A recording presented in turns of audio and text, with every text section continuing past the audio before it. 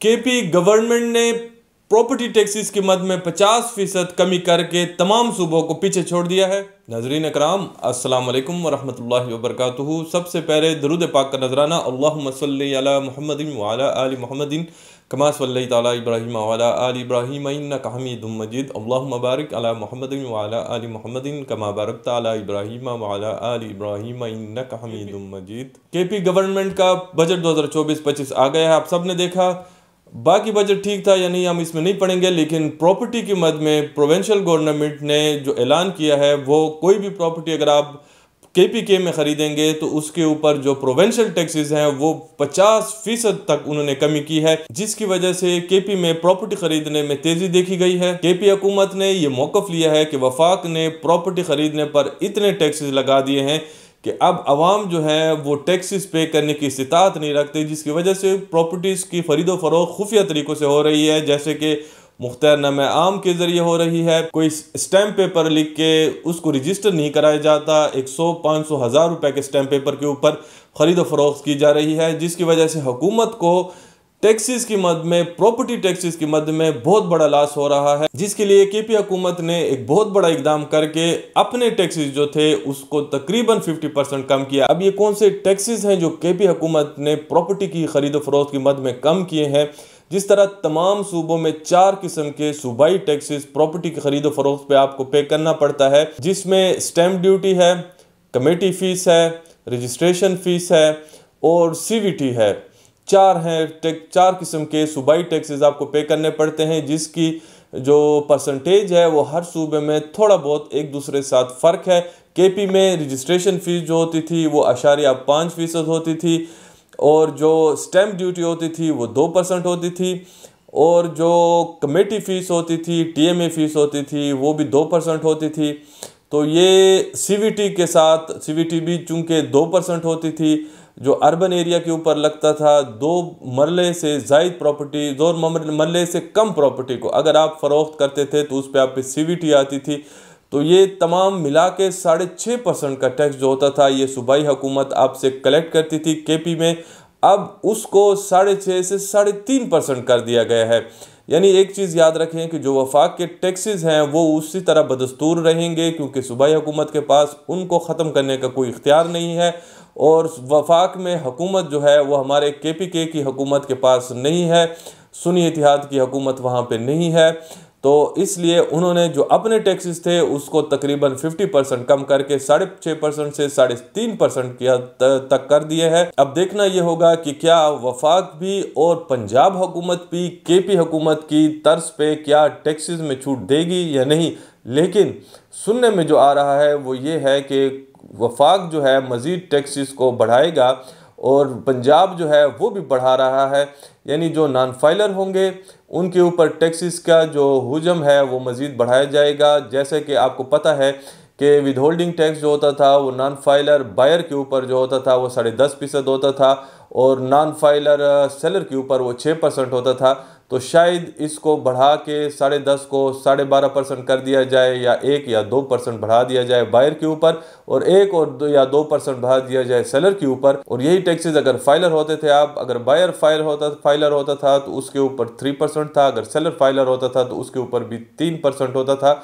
शायद इसको ना बढ़ाया जाए, इन दोनों को उसी तरह रखा जाए, लेकिन फाइलर के नॉन फाइलर के ऊपर जो है ये टैक्स इसको बढ़ाने का इम्कान है। इसी तरह वफाक का एक और टैक्स जिसको कैपिटल गेन टैक्स कहते थे, जो सेलर के ऊपर आता था कि अगर वो किसी मखसूस मियाद के टाइम में अगर वो प्रॉपर्टी को लेके फिर बेचता है तो उसके ऊपर ये टैक्स होता था, जिसके ऊपर एक सेपरेट वीडियो हमारे चैनल पे मौजूद है लिंक डिस्क्रिप्शन में मौजूद है, आप उसको देख सकते हैं कैपिटल गेन टैक्स किस रेट से लगता है।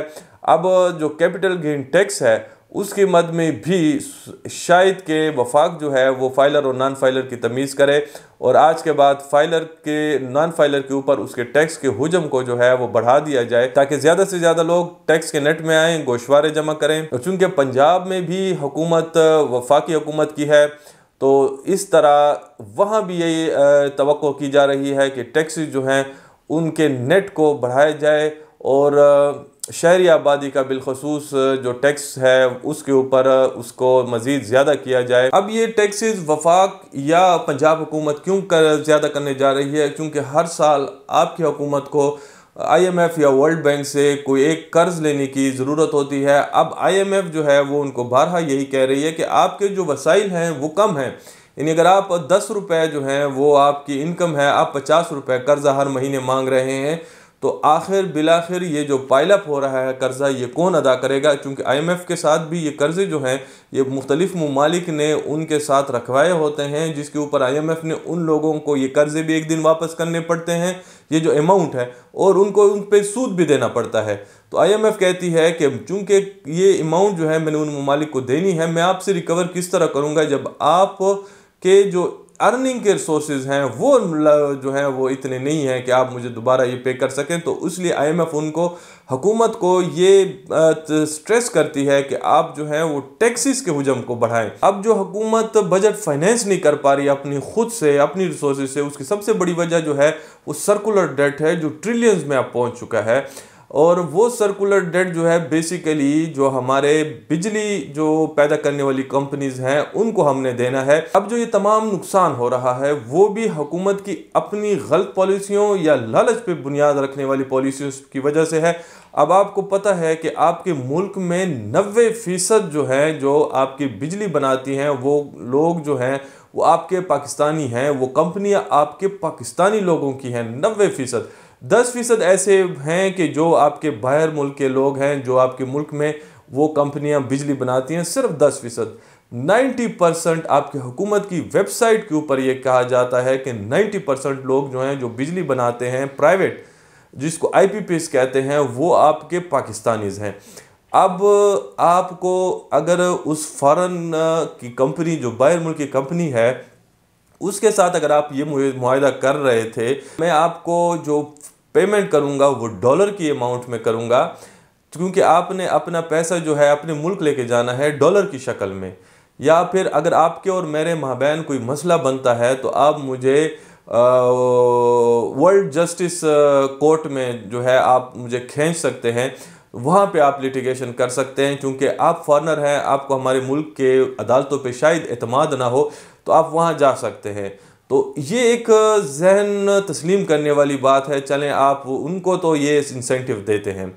लेकिन नबे फ़ीसद आपके बिजली बनाने वाले जो कंपनियाँ हैं, वो पाकिस्तानियों के हैं। आप उनको किस तरह डॉलर में पेमेंट करते हैं कि जब वो पाकिस्तानी हैं, आप उनको वो पाकिस्तानी रुपये में क्यों नहीं करते? दूसरा ये है कि आप जो हैं, उनको क्यों ये अपॉर्चुनिटी दे रहे हैं कि वो आपके ऊपर केस जो है, वो जो बैन अवी अदालत है वहाँ पे जाके आपके ऊपर करें। जब आपकी अदालतों के वो मातहत हैं, उनके कानून उन पर लागू होते हैं।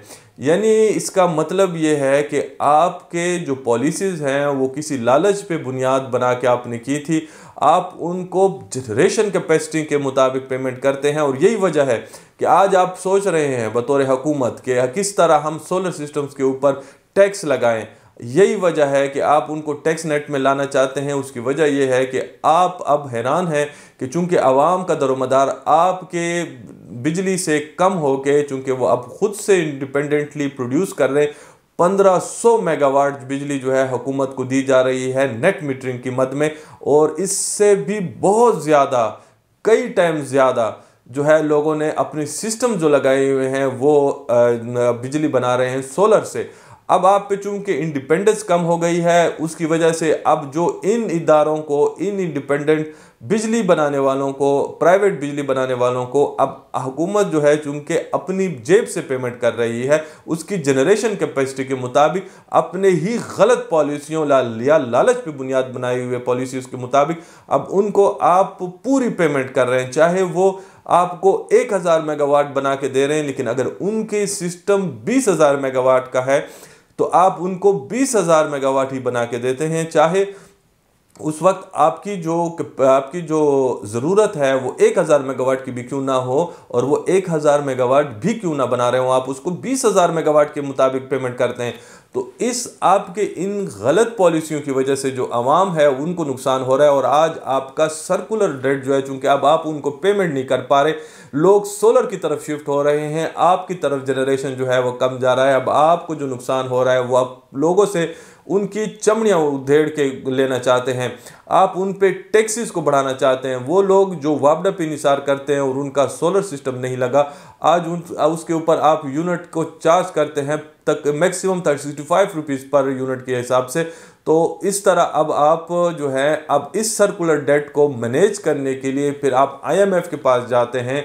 अपना बजट फाइनेंस कराने के लिए आप आई से हर साल एक नए लोन प्रोग्राम में जाते हैं और फिर वो लोन उस वक्त तो आप लेके आप एडजस्ट करा लेते हैं थोड़ा सा साई ऑफ़ रिलीफ आपको मिल जाता है। लेकिन उसका नुकसान आपको ये होता है कि लॉन्ग रन में आप जो हैं, वही पेमेंट एक दिन दोबारा भी करनी पड़ती है तो उसको वापस देने के लिए फिर से एक कर्जा लेते हैं। तो आवाम को तो आप कोई फ़ायदा नहीं दे रहे। नब्बे की दिहाई से जब से ये इंडिपेंडेंट प्राइवेट जो आपकी बिजली बनाने वाली कंपनियाँ आई हैं, आपकी गलत पॉलिसीज़ की वजह से अवाम को नुकसान हो रहा है। आप अवाम को कौन सा फ़ायदा दे रहे हैं?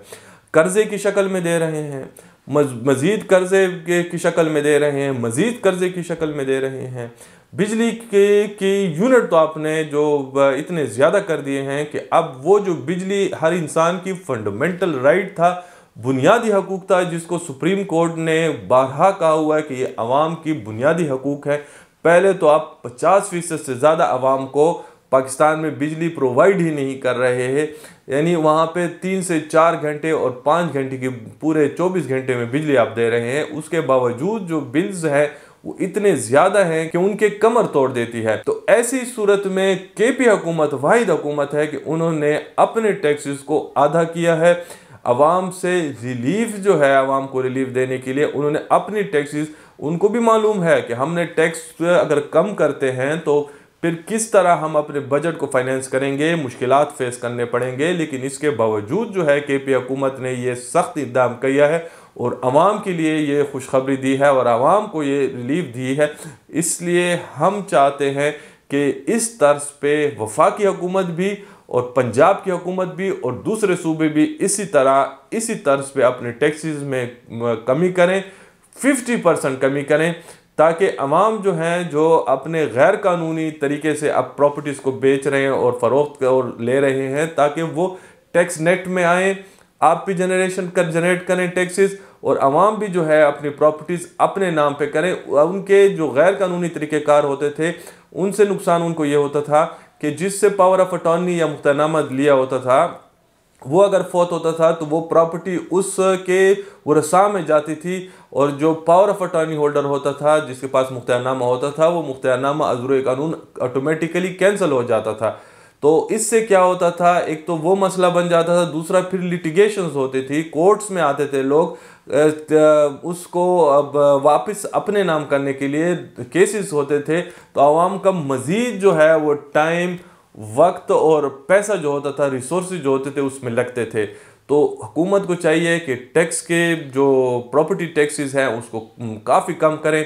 वफाकी सतह पर भी जो वफाक के चूँकि टैक्सेस बहुत ज़्यादा हैं और पंजाब हुकूमत में भी उस टैक्सेस को कम किया जाए। ये थी आज की वीडियो। आज की वीडियो अगर आपको पसंद आई है तो अपने जैसे और दोस्तों के साथ ज़रूर शेयर करें। इनके लिए फैलाने में हमारे साथ अपना किरदार ज़रूर अदा करें। आज के लिए इतना ही। इजाज़त चाहते हैं। अल्लाह हाफिज़। पाकिस्तान जिंदाबाद।